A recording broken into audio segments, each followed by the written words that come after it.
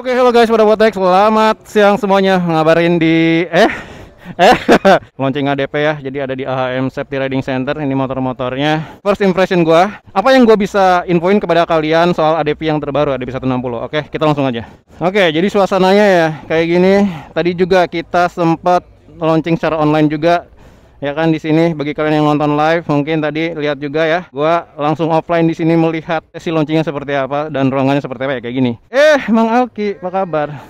Siap. Ini kita serba instan aja ya guys ya. Ya jadi gua di sini bakal ngomongin kepada kalian yang gua tahu tadi yang gua serap. Terus tadi kan ada pertanyaan-pertanyaan juga ya soal perbandingan yang lama seperti apa terus masalah inden segala macam. Nanti coba gua jelasin juga kepada kalian ya. Sebelah sini dulu deh. Sebelah sini itu lebih ke menonjolin aksesoris-aksesoris yang bakal kalian dapetin. Yang cocok ya bukan dapetin pas beli motor bukan. Tapi misalkan ini aksesorisnya nih bisa kalian beli yang cocok dengan motor kalian yang ADV nah di sini ada ADV yang ini agak agak ini ya agak versi di modif nih sebenarnya nih. Ya ada handlebarnya juga. Oh lagi nih. Oh ah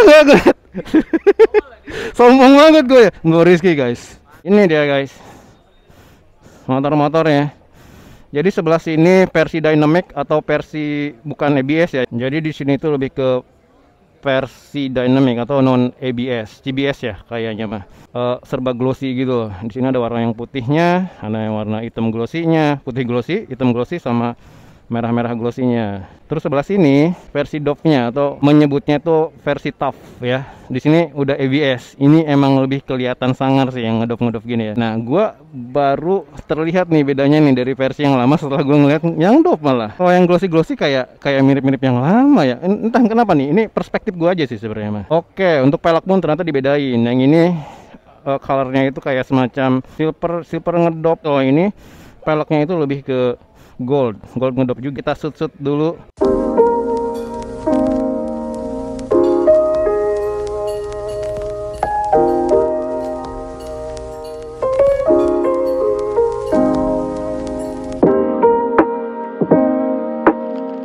Ya kayak gini guys situasi kalau lagi motor launching tiba-tiba langsung dikerubunin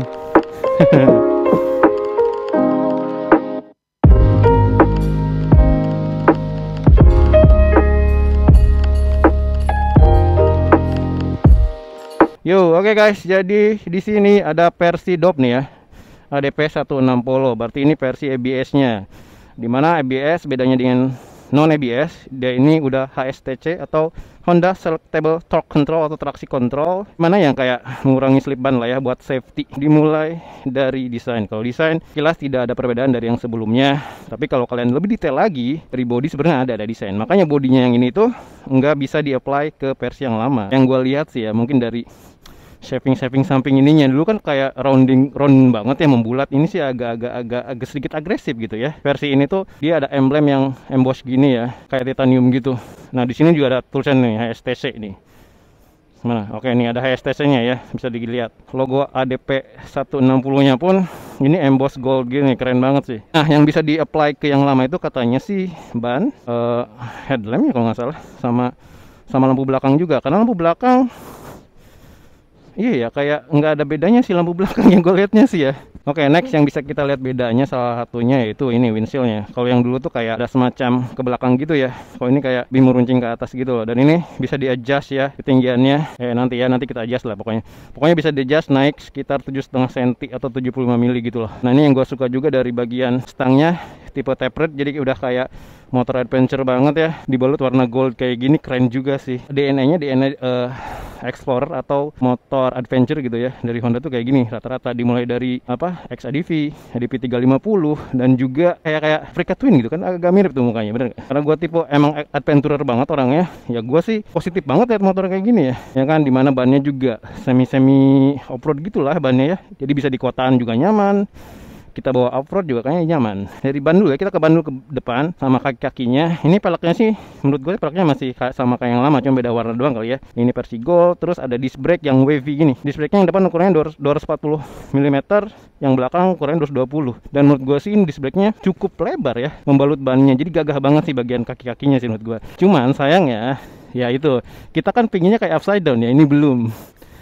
Kayak kecil juga sih di bagian sini. Cuman ya menurut gua sih versi kayak gini sebenarnya lebih enak buat buat off road gitu ya. Biasanya lebih lebih apa lebih soft dan perawatan juga lebih mudah sih kalau shock seperti ini biasanya. Soalnya ukuran 110 guys. Peleknya 14 inci yang depan yang belakang peleknya 13 inci. Ini 110 kalau nggak salah yang ini tuh 130 deh ya ini 130 saving ini ya. Semi semi off roadnya itu keren banget juga sih. Ya bisa dilihat kan kalau sekilas itu emang kayak nggak ada bedanya ada yang lama. Tapi kalau kalian ditilik-tilik lebih dekat lagi ada kok bedanya. Bagian lampu ya udah lampunya udah LED ya. Terus ada DRL juga di sini keren. Nanti kita coba nyalain. Nah joknya bisa kalian lihat di sini untuk jok dia menipis.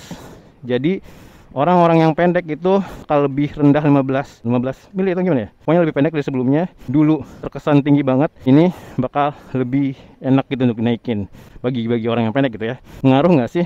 Tapi ngaruh nggak sih kenyamanan? Tapi menurut gue sih ini joknya empuk-empuk aja sih.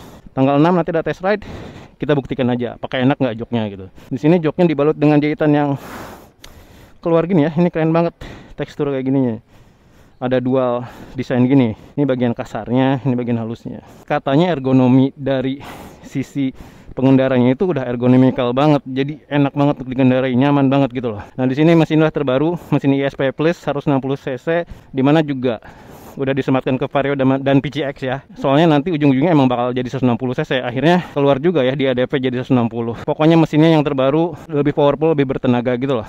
Nah dan katanya untuk ADP 160 ini mapping mesinnya dirubah sehingga tarikan bawahnya jadi lebih keluar gitu menurut gue itu harus karena ini kan tipe motor adventure. Di mana motor adventure harus banget untuk tarikan bawah gitu kan. Sok nih ini shocknya udah dua gini. Kalau matic menurut gue ya shocknya udah dua gini berarti maksudnya kelas premium. Di mana untuk boncengan pasti nyaman banget kan. Ini kayaknya kayaknya shocknya tuh udah kelihatan nyaman, nyaman banget lah. Ada apa? Subtanknya apa balutan si fairnya itu banyak banget. Kayaknya ini empuk deh menurut gue ya. Kayaknya empuk deh. Tapi nanti kita coba aja pas test ride oke? Okay? dari belakang sih gue nggak ngeliat secara beda desain ya. Tapi nggak tahu mungkin ada perbedaan lampu belakangnya. Tapi ini udah led lampu sense juga udah led semua. Ininya juga udah kayak uh, tipe adventure banget ya si spakbor belakangnya. Oke, jadi kenapa sih desainnya nggak berubah banyak? Nah, katanya karena ADP sebelumnya yang launching tiga tahun lalu baru tiga tahun lah. Apresiasi dari desainnya bagus banget gitu loh. Setelah melakukan riset segala macam, desain yang kayak gini lah yang disukai oleh masyarakat Indonesia. Jadi nggak banyak berubah banget sih. Tapi meskipun nggak banyak berubah dari fitur, tentu ini lebih enak, tenaga lebih enak ya kan. Jadi kalau kalian mau beli ABS gitu ya, hmm, kalau menurut gue sih ya, gue sebagai orang adventure, adventure gitu, adventure ABS, gue ngerasa ngerasa nggak nggak terlalu perlu gitu kalau gua tapi itu kan fitur ya mungkin kalian demi safety dan segala macamnya ya perlu lah ya ambil yang biasa aja guys karena paradopnya itu yang bikin kayak serem banget lah Oke okay, guys, kita lihat speedometernya ya, bagian dan bagian panel-panel yang bisa kita nyalain. Di sini ada tombol di bagian kuncinya ini udah keyless ya, enak. Terus ada lampu menyala, ini memudahkan kalau malam, jadi kalian nggak usah meraba-raba gitu kan, bener? Kita nyalain ya, tekan, nyalain. Ulang nih ya, di bagian speedonya, keren banget. Nah ini dia banyak banget info yang bisa didapatin di speedometernya. Ada takometer sekarang tuh guys. Gue pindah dulu bentar. Ini ada takometer di sini. Di mana sebelumnya kan kayaknya nggak punya ya. Takometer ini berguna banget buat kita yang motor adventure perlu banget takometer menurut gue. Motor dengan takometer menurut gue itu serasa lebih spesial ya. Jadi serasa lebih laki banget lah. di atasnya ada jam. Nih, sini ada jam di atas bagian sininya. Terus di sini ada speedometernya, di sini ada fuel indicator. Nah ini HSTC-nya nyala. HSTC bisa dimatiin nggak sih? Oh enggak ya? Otomatis. Nah sayang banget ya HSTC-nya ternyata nggak bisa dimatiin karena menurut gua motor adventure perlu kadang-kadang kita offin traction controlnya. Ini hanya masukan aja buat ke depannya mungkin ya. Terus di sini ada average consumptionnya, di sini ada voltmeternya. Jadi kalian bisa ngelihat lah indikator akinya ya kan kalau perlu ganti aki segala macamnya. Nah di sini ada tombol kayak joystick. Ini adalah untuk ngatur-ngatur speedometer. Ini lucu banget. Gue suka banget sih lihat speedometernya terasa adventure banget, terasa ADP 350 banget ini. Ya tuh kan bisa dirubah-rubah di bagian HSTC bisa dirubah jadi trip A, trip B gitu kan.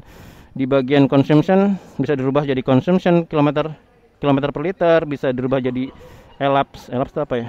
Total elapse A elapse B. Nanti aja kita lebih detail lagi ya. Ini sekilas dulu aja. Ini bagian oh temperatur ada loh. Jadi temperatur bisa diganti dengan tadi voltmeter gitu ya.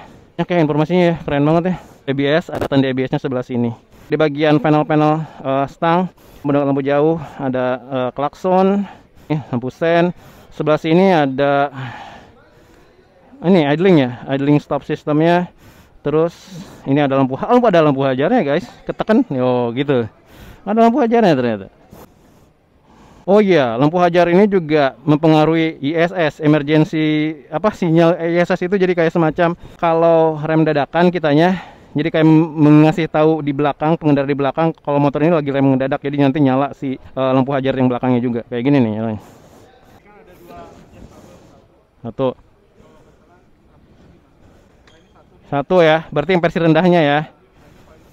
Oh, berarti tadi itu versi tingginya.